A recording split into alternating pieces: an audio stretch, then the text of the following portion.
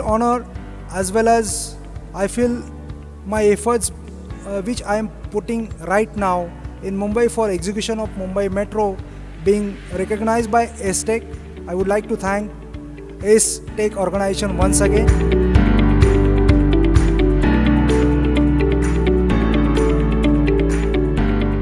uh, and the jury members for selecting me and this award is to my organization. It goes to my entire team and to my organization. And i thank ace and the jury. Members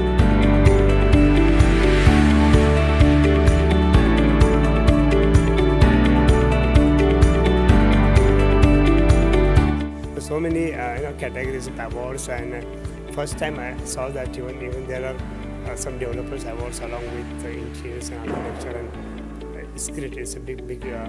It's. I think in future it, will be uh, the biggest award in India probably.